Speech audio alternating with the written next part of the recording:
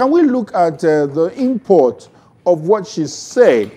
Uh, how insulting did you consider that statement from her so that people can be on the same page with you? That was that was not the that was not the main insult. The main insult is to say that those of us criticizing Buhari were doing so because we have not been paid money.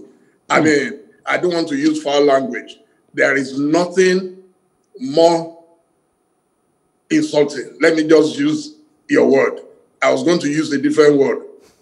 Where was she when we were spending our hard earned money on promoting Buhari till today?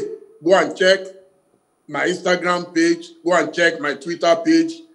I promote Buhari every day, despite my criticism of him. There is no Nigerian who does that in his private capacity without being paid penny till today. You should go and ask if I've ever collected any penny from 2014 to date from Buhari or from, from anybody working for Buhari, she should go and check it. Okay, Chief. So to say we are angry because we are not paid is the height of insult.